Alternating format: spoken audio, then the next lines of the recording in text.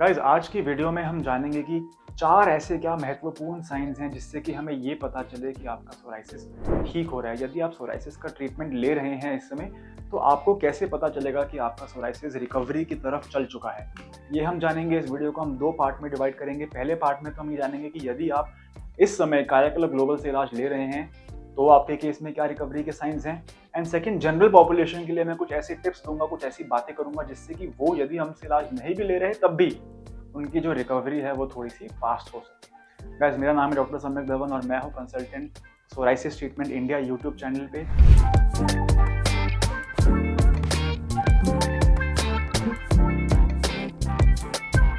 क्या आप भी सोराइसिस से परेशान हैं? देखिए सोराइसिस एक ऐसी बीमारी है जिसका अगर हम ग्रीक में बात करें तो इसकी जो मतलब है सोराइसिस में, जो पहले इसके वर्ड्स हैं P S O R A उनका मतलब ही है इचिंग बीमारी का नाम ही ऐसे पड़ा है ग्रीक परिभाषा इसमें रखी है। कि बीमारी में खुजली इतनी होती है, लोगों को परेशानी इतनी होती है, लोग रात को सो नहीं पाते हैं, काम पे नहीं जा पाते हैं बहुत सारी ऐसी चीज़ें हैं जो उनकी डेली लाइफ में उनको इशू करती हैं।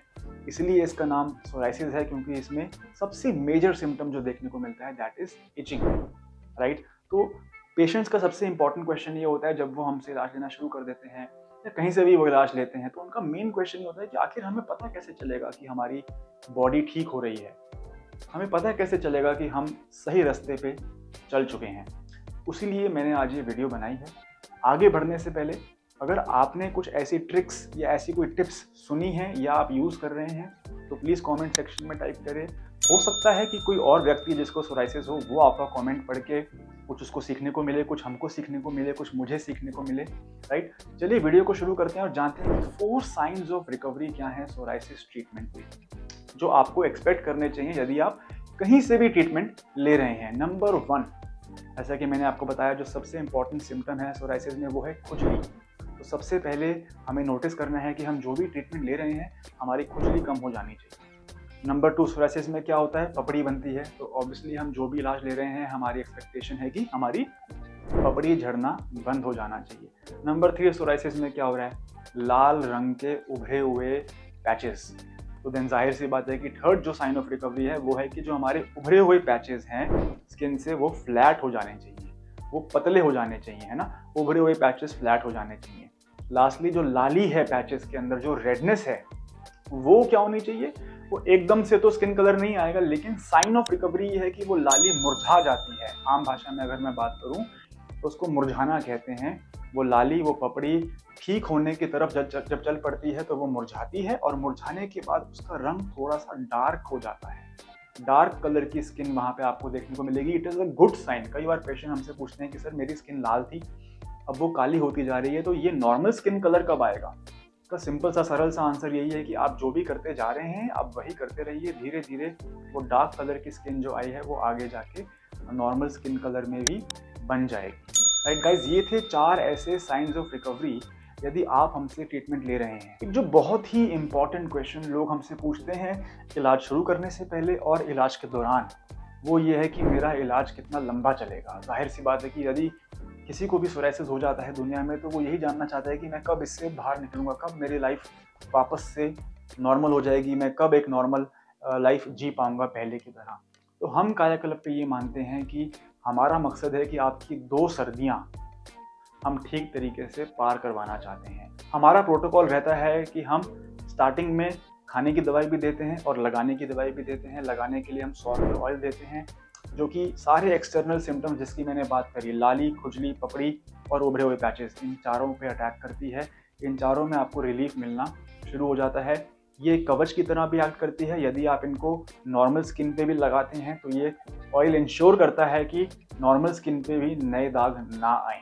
खाने वाली दवाई जो है वो अंदर से बीमारी को शांत करती है, हमारे ब्लड को प्योरीफाई करती है, हमारे टॉक्सिन्स को न्यूट्रलाइज करती है। वो ये इंश्योर करती है कि बीमारी बाद में पलटी ना मारे। लेकिन क्योंकि सोराइसिस एक मॉडर्न मेडिसिन में इनक्योरेबल डिज़ीज़ बताया गया है, लेकिन आयुर्वेद में इसे कष्ट साध्य डिफ़िकल्ट टू ट्रीट रोग बताया गया है। दैट मीन्स कि इसको ठीक करने में ज़्यादा लंबा समय लगता है। पेशेंट्स की एक्सपेक्टेशन होती है कि एक महीने में ठीक हो जाऊँ, दो महीने में, तीन महीने में, ऐसा नहीं हो सकता है। आप बाकी लोगों से कमेंट सेक्शन में बात करें, जिनको बहुत सालों से सोराइसिस है, या जिनको एक्सटेंसिव सोराइसिस है, या जिनको ज़्यादा बड़े बॉडी पार्ट पे सोराइसिस है, वो आपको खुद ही बता देंगे कि ऐसा पॉसिबल नहीं है कि आप एक या दो महीने में ठीक हो जाएँ।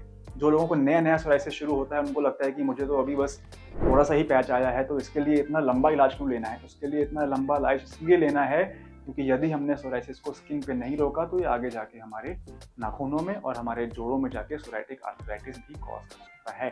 दैट इज़ वाई सोराइसिस के ट्रीटमेंट को सीरियसली लेना आप शुरू करें। गाइज़ ये थी आज की वीडियो जैसा कि मैंने स्टार्टिंग में कहा कि मैं कुछ ऐसी जनरल टिप्स भी दूँगा जिससे कि जनरल ऑडियंस की भी सोराइसिस में रिकवरी फास्ट हो जाए। तो उसके लिए टिप्स मेरे पास ये है कि अपना लाइफ आप सुधारें स्मोकिंग छोड़ दें अल्कोहल छोड़ दें और स्ट्रेस लेना छोड़ दें। ये तीन ऐसे ट्रिगर्स हैं जो आयुर्वेद में एलोपैथ में, हर साइंस में मैंशन हैं कि ये सोराइसिस को बढ़ाते हैं। नंबर फोर टिप अपने सोराइसिस के पैचेस को मॉइस्चराइज करके रखिए। उस पर किसी भी तरीके का आप मॉइस्चराइज करके रखिए। उनको आप उस पर वैसलिन लगाएँ, आप उस पर सॉर्फर ऑयल लगाएँ। आप कोई भी इमोलियंट उस पर लगाएँ, आप कोशिश करें कि आपकी स्किन ड्राई ना रहे। ड्राई स्किन के फटने के चांसेस ज़्यादा होते हैं। सोराइसिस के सिम्टम्स ज़्यादा होते हैं अगर आपकी स्किन ड्राई है। गाइस ये थी आज की वीडियो मैं उम्मीद करता हूँ कि आपको फोर साइंस ऑफ़ रिकवरी समझ में आ गए और मैं फिर से समराइज कर देता हूँ। लाली मुरझा के काली हो जानी चाहिए। पपड़ी खत्म हो जानी चाहिए, खुजली खत्म हो जानी चाहिए और उभरे हुए पैचेस फ्लैट हो जाने चाहिए। चार साइंस ऑफ़ रिकवरी हैं जो आपको एक्सपेक्ट करने हैं यदि आप किसी से भी इस समय सोराइसिस का इलाज ले रहे हैं। यदि आपको ये वीडियो पसंद आई तो आपने इसको लाइक करना है, आपने चैनल को सब्सक्राइब करना है और आपने कॉमेंट में अपनी एक्सपीरियंस को शेयर करना है ताकि बाकी किसी और आदमी की मदद हो सके। धन्यवाद।